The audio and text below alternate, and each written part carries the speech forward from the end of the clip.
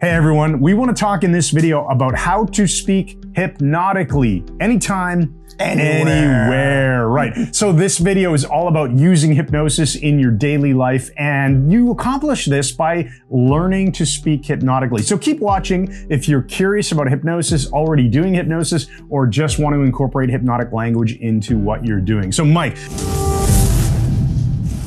so, Mike, let's start. Uh, you can open the, the door to this conversation. We got to go through pacing and leading and a bunch of other awesome stuff. Okay, well, pacing and leading means you're you're meeting your client, your hypnotic subject, where they are.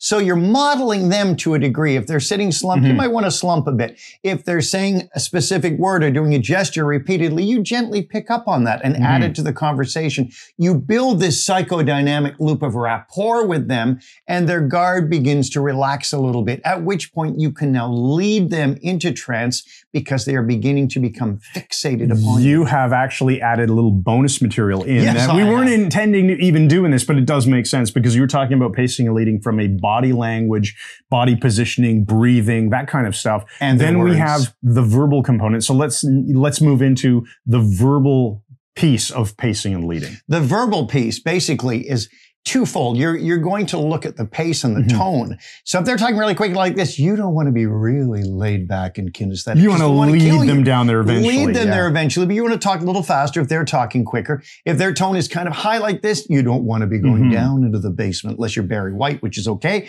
So you want to match the tone and the, the rate which they, in which they're speaking, but you also want to pick up on key words they're using. So if they're saying something over and over, and that's how the problem started, that's how, you can offer back those words and by say, pacing that, and right? say that's how the problem started and nod as you say it and you're now emphasizing this Mhm. psychodynamic loop, loop between the two of you Okay, so we can pace, let's say in regular conversation, someone's talking about a difficulty with a colleague or something like that. And that difficulty, you can pace the phrase difficulty. But now in hypnosis as well, if let's maybe differentiate between conversationally using this in everyday life and how a hypnotherapist would be dealing with a client in their chair in the office.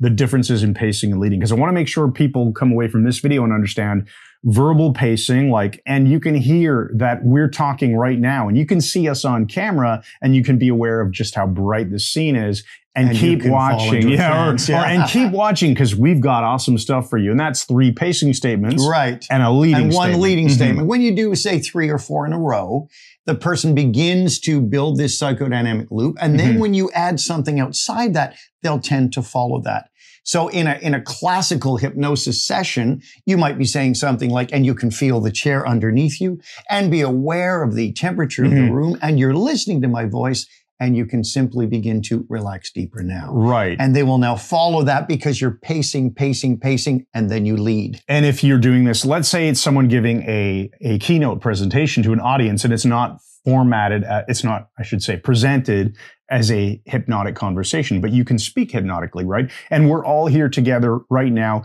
and we all have a common goal. I mean, politicians do this with nonsense speak all the time, but if you speak in a way that you have rapport and you resonate with what people want and they're internally going, yes. Yes, I agree. Yes, Yes, and then you make your suggestion, and then you give your call to action, which can be your leading statement. If it's formal hypnosis, it's and let yourself sink even deeper. If it's conversational hypnosis, what else? What other leading statements might someone make? Well, conversationally, Mhm. it can be pretty well anything based on what you're already talking about. So and you can discover that there are solutions to this problem that you hadn't thought of before. That could be leading Sure. statement, right? It could be as simple as thinking back to all the other things you've solved in the past. You might find an application Mhm. today. All of these things are leading people gently and easily into resolution of whatever they're putting on the table. Okay, so we're gonna we're gonna now move into what we call Nuvi language really quickly. We're gonna explain linkages and how to craft what's called a never-ending sentence. Then we'll do a little bit of demo on it. So before we do any never-ending sentence stuff, let's talk about the difference between pacing and leading. What I like to call the real world. Like you can notice that you're Whatever that standing. is, yeah. yeah, you can notice the feeling of your feet on the floor. If I'm standing like we are right now, I can notice that. I can become aware of the fabric covering my body. and I could I'm notice my fingertips are touching all these together. are real world things. Right. But NUVI things, NUVI stands for nominalization, unspecified verb integration, or we used to call it induction, but integration. So nominalizations are things that you can paste to, right? A nominalization is A nominalization is a noun, just the way building Mhm. or tree or computer is a noun, but it's a noun that has no physical form. In other Mhm. words, we say you can't put it in a wheelbarrow. Things like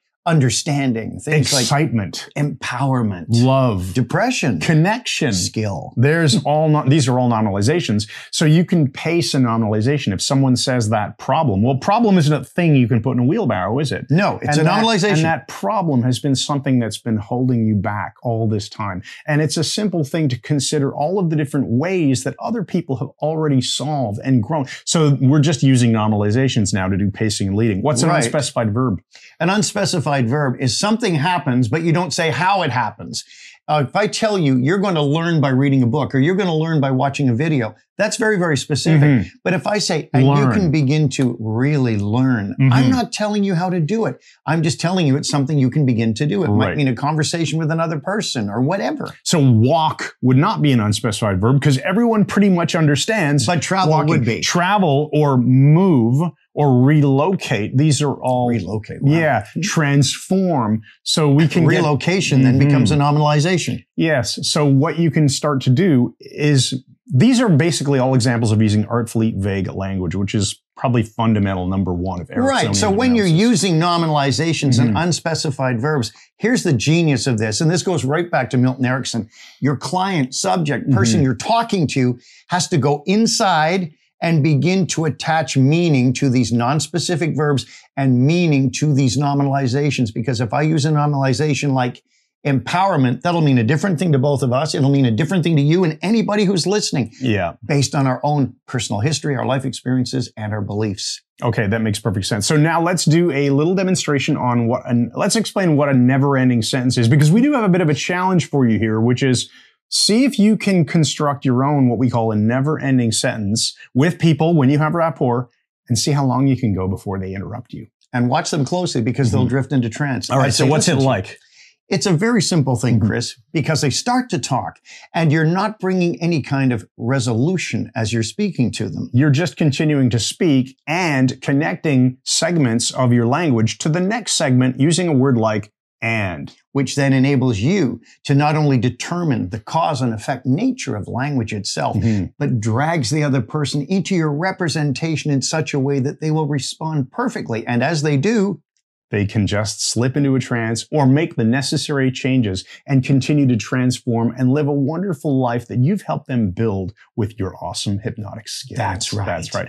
So there, there's, we're just making this up as we go, not aiming at anything specifically, but that's generally the idea of hypnotic language. So hypnotic language, really awesome skill. We do have, um, for our MMHA members, we have these cards, which are awesome, which teach you patterns that you can slot into the structure of a never ending sentence. It's a fun exercise to use. You'll use this with your clients or you can use portions of this in everyday Uh, yeah, you can use it Mhm. if you're a professional speaker, as I was for many, many years, with an audience. You can use it just in conversation, as Chris said. Now, we didn't even introduce ourselves. In, no, we didn't introduce ourselves yet. I am Chris Thompson. I'm Mike Mandel. We run Mike Mandel Hypnosis and the Mike Mandel Hypnosis Academy. And I say that because if you're interested in learning more about this, there are more tools that you can use. You can tell hypnotic stories. You can get into much more direct suggestion, formal hypnosis.